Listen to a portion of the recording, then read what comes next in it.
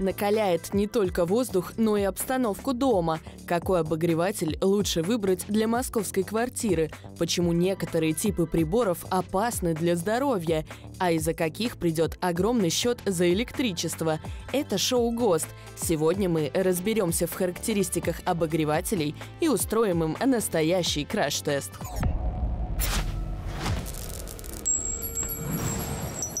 О самых популярных моделях расскажет Сергей Масленников, управляющий магазином климатических товаров. А технический специалист Вячеслав Мотин готов разобрать устройство на детали, чтобы выбрать лучшее. Как создать оптимальную погоду в доме, объяснит инженер климатических систем Евгений Горе. О новинках на рынке и дополнительных функциях приборов знает все техноблогер Данил Мельниченко. Всем привет! В такую погоду поможет согреться не только чашка чая, но и хороший обогреватель. Какой же лучше выбрать? Обогреватель – это достаточно сложное устройство, которое использует для своей работы электричество. Может быть какое-то нарушение проводки или же замыкание, что приведет к пожару. Это не всегда случается, но может быть. Поэтому не рекомендую пользоваться какими-то непроверенными брендами. Давайте не будем пугать наших зрителей. Большинство современных обогревателей могут отключиться как от опрокидывания, так и от перегрева. Большинство приборов, представленных на рынке, они уже морально и технически устарели. Обогреватель должен быть безопасным и технологичным. То есть безопасность может быть выражена как в наличии датчиков, так, например, и в наличии пожарного сертификата. Сегодня мы разберемся, на что смотреть перед покупкой устройств на примере этих моделей. Популярный и привычный для потребителя масляный радиатор от компании Scarlett. Мощность – 1500 ватт и цена почти 3600 рублей. Следующий стильный тепловентилятор Брайер с более высокой мощностью – 2000 ватт и ценой 4790 рублей. Самая дорогая модель – конвектор Nova. Мощность такая же, а цена 22 с половиной тысячи. И последний – отечественный инфракрасный обогреватель «Союз» менее чем за полторы тысячи тысячи, выдающий мощность в 800 ватт. Существует множество типов обогревателей. Какой лучше выбрать? Самые привычные для наших жителей являются масляные нагреватели и тепловентиляторы. Они, конечно, самые дешевые, самые доступные по цене, но минусов у них гораздо больше, чем плюсов. Масляные нагреватели очень долго нагревают помещение, а тепловентиляторы, они довольно-таки шумные. Обогреватели вообще можно разделить на два типа. Первый инфракрасный, а другие конвективные. Яркий пример принудительной конвекции – тепловентилятор. Да, он работает здесь сейчас, но по факту ресурс его службы не измеряется десятилетиями. Один-два года отработает, на выброс покупаете новый. Я лично выступаю за конвектор. Конвектор – это самая современная техника, и она призвана служить очень долго и правильно. На данный момент нет идеальных обогревателей, чтобы не было недостатков. Ну, в частности, инфракрасные обогреватели, они очень хорошие. Но мое личное мнение, все-таки инфракрасное излучение не очень полезно для человека. Давайте посмотрим на модели, которые перед вами. Что можете про них сказать? Классический масляный нагреватель. Мы можем управлять ступенями нагрева, а температуру мы устанавливаем наугад. У меня самый современный экземпляр. Он поддерживает самую точную температуру, и он абсолютно беззвучный. В данном случае керамический инфракрасный обогреватель. У него есть такая особенность, что он нагревает не воздух, а предметы. А это немного лучше, чем интерпретация самого дешевого тепловентилятора. Внутри стоит керамический нагревательный элемент. Вентилятор вентилятор пропускает через него холодный воздух, и вперед выходит теплый. У популярных типов обогревателей много недостатков. Масляный радиатор долго нагревается, а тепловентилятор шумит. Инфракрасные приборы повышают температуру не воздуха, а предметов вокруг. Наиболее универсальными эксперты назвали конвекторы. Они поддерживают нужную температуру и при этом беззвучные. В холодное время ценник за ЖКХ растет. Ни для кого не секрет, что обогреватели потребляют большое количество электроэнергии. Стоимость 1 киловатта в Москве составляет около 6 рублей. А по какой формуле можно рассчитать стоимость одного часа работы прибора? Мы берем номинальную мощность прибора и умножаем ее на 6. Давай так и сделаем и начнем с прибора Scarlett. Для этого мы будем использовать ваттметр. Он здесь будет отображать текущее энергопотребление в ваттах. Подключили прибор, и так сейчас он у нас показывает номинальное энергопотребление 1,5 киловатта. Это значит примерно 9 рублей в час. И обогреватель когда-то работает, когда-то не работает. Вспомним про дневные и ночные тарифы. С точки зрения 9 рублей в час, да, это немало. Давайте проведем тот же самый эксперимент с прибором Брайер. Ну что, включаем на полную мощность. И видим, что он начинает потреблять э, порядка 2,5 киловатт, но постепенно это значение начинает э, уменьшаться и доходить до своих номинальных мощностей 2 киловатта. Ну и на выходе мы получаем 12 рублей в час. У данного прибора мощность заявлена более высокая, чем у предыдущего прибора, поэтому и потребляет он больше, и стоит это дороже. Проверим показатели у обогревателя «Союз». Внутри две лампочки, номинальная мощность каждой 400 ватт, соответственно, есть он может не больше, чем 800 ватт в час. Здесь мы наблюдаем сейчас 765 ватт, а это значит, что чуть меньше, чем 4 рубля 80 копеек он будет потреблять в час. И проводим тот же самый эксперимент с обогревателем «Нова». А, Цифра 1743 ватта. Это порядка 10 рублей в час. Но это же очень много по сравнению с остальными обогревателями. Зато данный обогреватель нагреет ваше помещение гораздо быстрее и потратит на это меньше денег. Данный прибор мощнее, чем оппонент наш, и более эффективный. Самым экономичным оказался инфракрасный обогреватель «Союз». За 6 часов работы в течение дня он бы израсходовал чуть меньше 30 рублей. В месяц такой прибор нажег бы электричество в среднем почти на 900 рублей. Масляный радиатор «Скарлетт» обошелся бы в 54 рубля за 6 часов, а за месяц 1620. Чуть больше конвектор «Нова» – 60 рублей за день, это 1800 в месяц. Потребил энергии больше остальных тепловентилятор «Брайер» за 6 часов 72 рубля. В месяц такой прибор увеличил бы сумму в платежке за ЖКХ на 2 с лишним тысячи. Насколько я понимаю, один из наиболее важных параметров обогревателей – это мощность. Какой она должна быть для среднестатистической московской квартиры? Существует простой расчет. Это 100 ватт на метр квадратный. То есть на комнату в 20 метров квадратных вам нужно 2 киловатта обогревателя. Э, Формула-то есть, конечно, для расчета, но она достаточно сложная, потому что у нее входит очень много факторов, такие как теплоизоляция, толщина ее, куда выходят окна. Как правило, мощность всех приборов она делится на киловатт, полтора и два киловатта. Один киловатт на 10 квадратов в среднем считаем так. Но я бы заострил внимание на управление нагревательными приборами, чтобы можно было выставлять конкретную температуру, которую он поддерживает. А насколько шумные бывают такие приборы? В целом все приборы бесшумные, не считая тепловентиляторов. Есть также естественный шум, который, так по сути, является щелчками. Тогда предлагаю провести эксперимент и проверить уровень громкости у этих обогревателей. Такие обогреватели вообще не шумят, то есть у них уровень шума 0 дБ. Сейчас 35 дБ, включаем его, и снова все те же 35 дБ. 58 децибел. Для понимания, здесь шумит только вентилятор, который прокачивает воздух. Сам нагревательный элемент шума не издает никакого. Так, ну замерим.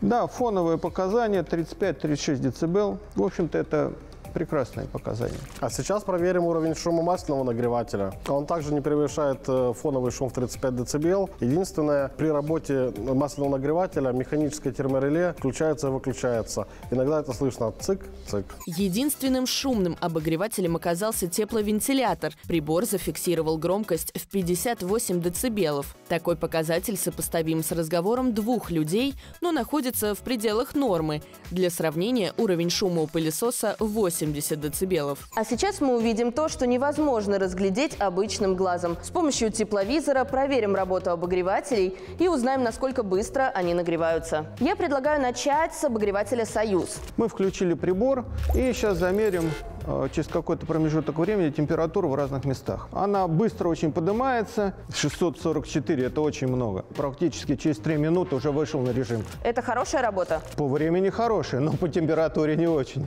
644 – это очень много. В идеале, если ориентироваться на какие-то другие приборы, то это 60. Городское отопление – 80. Чем выше температура, тем быстрее происходит осушение воздуха. Если уж его использовать, то надо его включать э, без человека. И после того, как прогреется помещение, открыть окна. Перейдем к следующему прибору НОБА. После включения конвектор очень быстро выходит на режим. Вот уже чувствую тепло, которое выходит сверху. Максимальная температура 110 градусов. Это отличный показатель. Данный прибор, благодаря низкой температуре обогревающей поверхности, он полностью безопасен даже для детей. А сколько времени понадобилось для полного нагрева обогревателя? За 5 минут он вышел полностью на свой режим. Самый горячий воздух выходит вот с этой решетки. Теперь проведем эксперимент с обогревателем Брайер. Немножко дольше, чем инфракрасный нагревается. 120, 125. О, Дальше пошло 155. Очень неравномерно распределяется температура. Самая большая 182. Ну, где-то через 4 минуты, да, вышел на режим. Если отталкиваться от значения температуры, то, конечно, не очень хорошо, потому что, опять же, сушит воздух. Даже 150 это очень много. Жень, что скажешь про обогреватель Scarlett? Еле-еле нагревается. Максимальная температура вот в этой части, где концентрация масла и тен, 120 градусов в верхней части. Средний показатель, потому что, в принципе, температура уже предельная, уже вот прикасаться к нему небезопасно. Можно получить ожог. На режим мы вышли за 11 минут, но также при отключении он еще будет давать тепло в помещение, а другие приборы максимально быстро остынут. Тепловентилятор и инфракрасный обогреватель очень быстро доходят до максимальной температуры, но при этом сушат воздух. Масляный радиатор тоже сильно накаляется, но у него есть плюс. После выключения остывает медленно и поддерживает тепло в комнате. Конвектор создает умеренную температуру и нагревается со средней скоростью примерно за 5 минут. А теперь устроим обогревателем наиболее объективную проверку. В качестве небольшого помещения у нас будет палатка. Установим туда датчик влажности воздуха и температуры. Также посадим туда эксперта и включим каждый прибор на несколько минут. Текущая температура 23,5 градуса. Уже чувствуется сильный жар. Но для такого маленького помещения, мне кажется, обогреватель медленно работает. Да нет, если бы вы зашли сюда и посидели бы рядом со мной, я думаю, бы вы поняли, что это все происходит достаточно быстро. Как хорошо, что я всего лишь засекаю время. По завершению эксперимента у нас температура почти 30 градусов и влажность 43%. Тут как в бане сейчас. Продолжим эксперимент с другим обогревателем и другим экспертом. Здесь у меня масляный нагреватель Scarlett. Засекаю время. Три минуты ждем. Какая температура сейчас? Начальная температура 27 градусов, относительная влажность 35%. Как ощущение внутри? Тепло, даже слишком. Нагреватель дошел до 101 градуса. Прошло три минуты. Как погода внутри? Поднялась совсем немного, 27,5 градусов внутри палатки. Влажность 40. Динамика не сильно большая, видимо из-за того, что у него мощность всего полтора киловатта. По сравнению с предыдущим прибором несерьезно. Двигаемся дальше. У меня «Союз».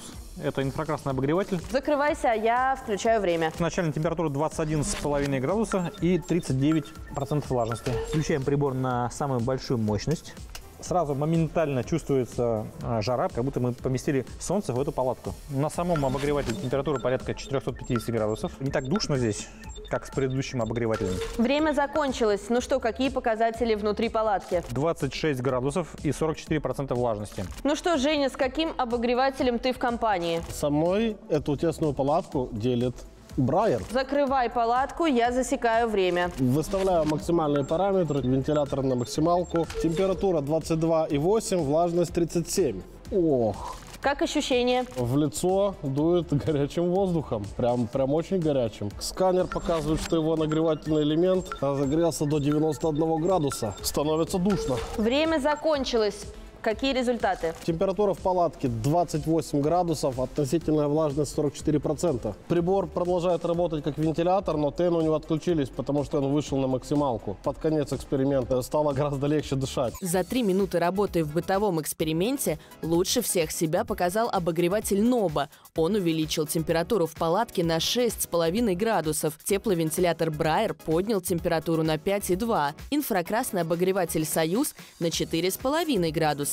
Хуже всех оказался масляный радиатор Скарлет, нагревший палатку всего на полградуса. Какие дополнительные функции бывают у обогревателей? По-настоящему полезно это дистанционное управление по Wi-Fi и возможность организовать расписание. То есть, чтобы один раз вы его задали и больше к нему не возвращались. Почти все обогреватели комплектуются своим датчиком температуры. Но здесь есть небольшое свое «но». Дело в том, что этот датчик замеряет температуру около конвектора, а человек ощущает температуру в помещении на уровне лица. В первую очередь обогреватель должен нагревать. Все остальные функции являются дополнительными. В современных моделях есть управление по Wi-Fi, в котором можно планировать расписание обогрева на каждый день. Плюсом прибора будет дополнительная защита от влаги, ожогов и выключение при падении.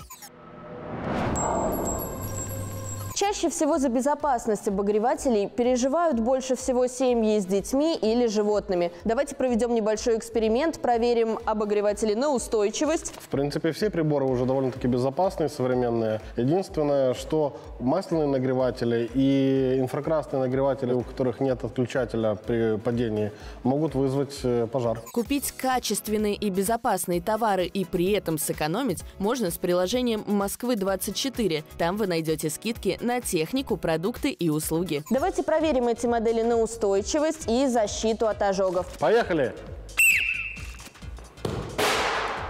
Хороший удар, прибор устоял. Но при этом подвинулся. А что насчет нагрева? Корпус у него горячий, я за него могу держаться, но маленький ребенок может обжечься. За верхнюю часть, если будет брать, вот таким образом. Перейдем к следующему обогревателю Брайер.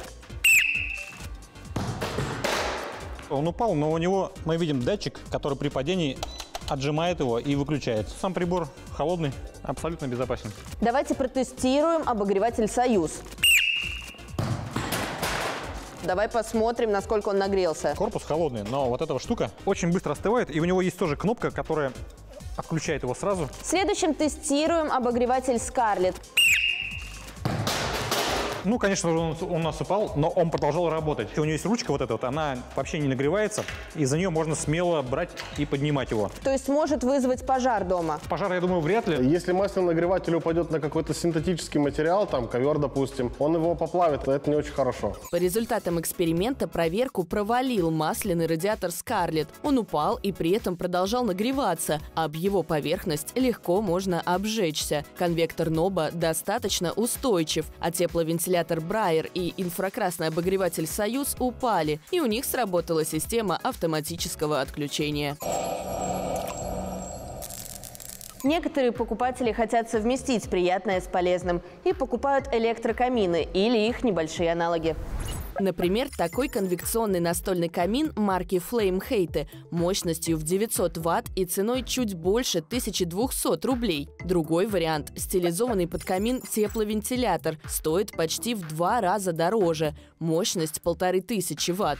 Уступает предыдущим моделям электрокамин Клеве, выдает всего 600 ватт, а цена при этом 3500 рублей. У него есть пульт управления и таймер на отключение. Предлагаю сразу провести эксперимент и поставить к каминам стаканчики со льдом, посмотреть, растают ли кубики внутри. Греет очень активно, но пока мы ждем, давайте разберемся, может ли такой электрокамин стать достойной альтернативой полноценному обогревателю. Современные камины имеют достаточно интересный внешний вид. Ну а по факту, в общем-то, это тот же самый обогреватель, только с эффектом огня. Я считаю, что это все равно локальная грелка. Так или иначе мы смотрим на его мощность. Здесь мы видим 600 ватт.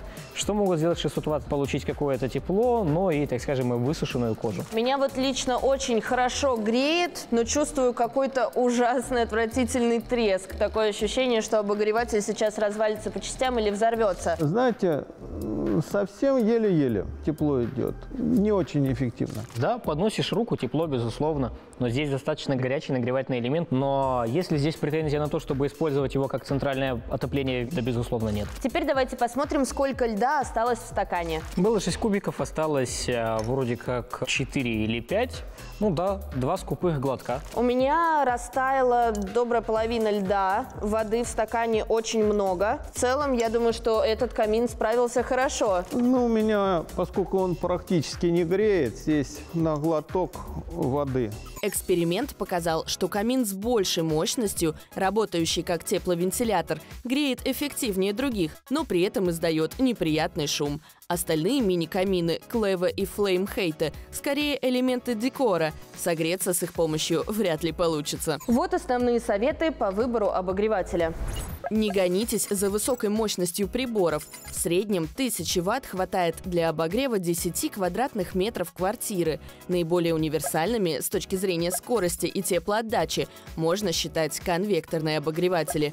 А вот масляные радиаторы технически устарели и являются самыми небезопасными. И сегодняшние тесты это подтвердили. Если у вас дома дети или животные, то выбирайте приборы с автоотключением при падении. Плюсом будет наличие управления по Wi-Fi. Итак, какой же обогреватель лучше выбрать? Конечно, в первую очередь не стоит обогревать улицу, а обратить внимание на изоляцию вашего помещения. Следующий параметр – не гнаться за большими температурами обогревателя. Все-таки обратить внимание на умеренные температуры. Поскольку мы выбираем обогреватель для квартиры, я бы рекомендовал к приобретению инверторный конвектор. Ну и обогреватель должен быть удобным. Например, вы будете доставать обогреватель из кладовки в холодные времена и ставить его в вашу комнату. Поэтому выбирайте то, что вам удобно. Включайте критическое мышление, иначе продавец вам продаст оборудование с такими функциями дополнительными, которые вам вовсе не нужны, а вы потратите лишние деньги.